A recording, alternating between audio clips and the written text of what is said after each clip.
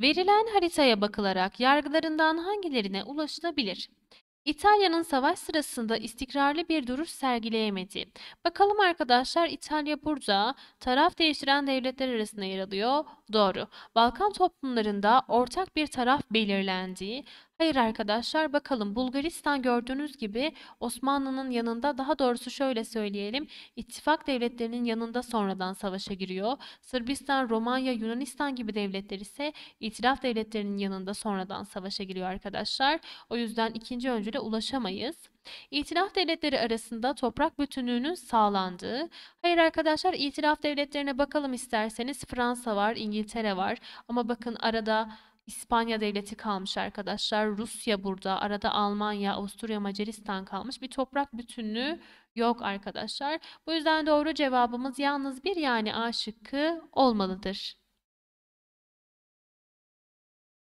Wilson ilkelerinin verilen maddelerine bakılarak yargılarından hangilerine ulaşılabilir? Barış görüşmeleri açık olarak yapılacak ve gizli anlaşmalara son verilecek. Galip devletler mağlup devletlerden toprak ya da savaş tazminatı almayacak. Devletler arası anlaşmazlıkları çözmek amacıyla uluslararası bir teşkilat kurulacak. Yani Milletler Cemiyeti. Osmanlı Devleti'nin Türklerin çoğunlukta olduğu bölgelerinde Osmanlı egemenliği sağlanacak. Türklerin çoğunlukta olmadığı bölgelerde ise buradaki milletlerin kendi kendini yönetme hakkı olacak. Boğazlar bütün milletlerin gemilerine açık olacak ve bu durum milletler arası kontrol altında tutulacak. Her millet kendi geleceğine kendisi karar verecek. Alsas-Lorraine Fransa'ya verilecek. İmparatorlukların parçalanmasına dayanak oluşturduğu. Arkadaşlar bakın zaten burada milletlerin kendi geleceklerini kendilerinin karar vermesi imparatorlukların parçalanmasına sebep olur. Avrupalı devletlerin daha fazla sömürge sahibi olmalarının engellenmeye çalışıldığı. Tabii ki arkadaşlar bakın ne yapacaklardı? Anlaşmalar gizli yapılmayacaktı artık. Aynı zamanda savaş tazminatı alınmayacaktı. Bu onların sömürge sahibi olmalarını engelleyecektir. Kalıcı barış ortamı sağlanmak istendiği, tabii ki bu da Milletler Cemiyeti sayesinde olacak arkadaşlar. Bu sebeplerle doğru cevabımız E şıkkı olmalıdır. İtilaf devletlerinin Çanakkale cephesini açma nedenlerine bakılarak Osmanlı Devleti ile ilgili yargılarından hangilerine ulaşılabilir?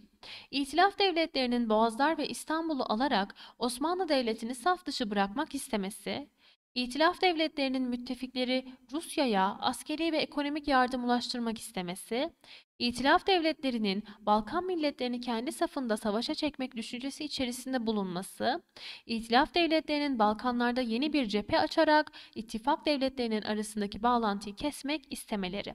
Bakalım öncülerimiz arkadaşlar.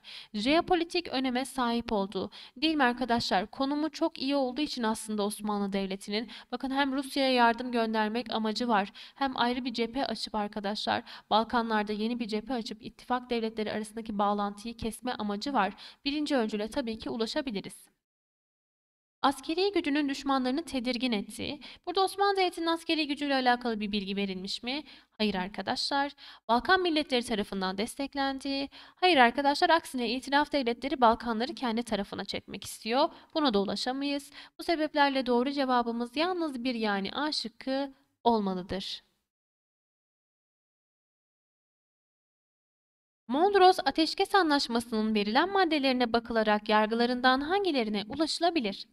Önce öncüllerimize bakalım arkadaşlar. Ülkenin işgale açık hale getirildiği. Bunu hem 7. maddeden hem 24. maddeden çıkarabiliriz. Aynı zamanda Osmanlı ordusu terhis edilecekmiş yani dağıtılacakmış arkadaşlar. Silah ve cephanelere de el konulacakmış. Yani Osmanlı Devleti artık kendini koruyamayacak hale gelecek. O yüzden birinci öncüle ulaşabiliriz. Osmanlı Devleti'nin boğazlar üzerindeki hakimiyetini tamamen kaybetti.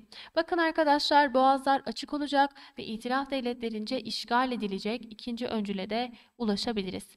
Türklerin hürriyet ve istiklalinin tehlikeye düşürüldüğü elbette arkadaşlar bütün bu Mondros anlaşmasından zaten bunu çıkarmamız mümkündür. Bu sebeplerle doğru cevabımız E şıkkı olmalıdır.